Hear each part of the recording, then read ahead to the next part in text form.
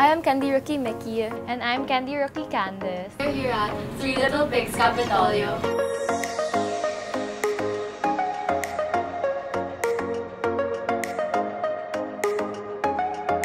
And we'll be doing our night out makeup look. But there's actually a twist to it. We're doing our makeup in the dark. So today we're actually using Revlon for our entire makeup look. And we'll start the challenge in 3, 2, 1. Let's start with eyes. We're gonna be using the Revlon eye paint now.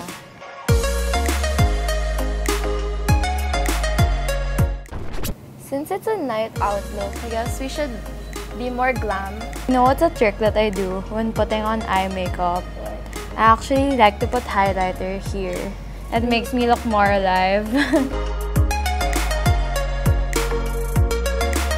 I'm gonna put my bronzer. Is that too much?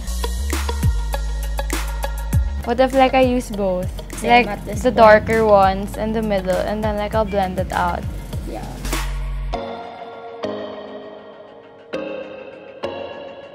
This lipstick's so nice. Like, it looks so cre- it feels so creamy.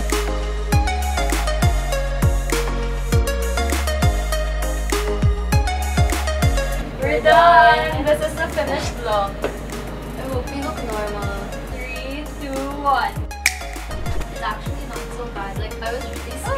I'd end up looking like a crazy person. Same. I actually like it. Like, I can go out with it. Like, I can go out now. The highlighting palette because I think you're holding it. Yeah. Because it comes with like two highlights that I really like, and then the darker highlights you can use it as eyeshadow. I'm actually proud of my eyes.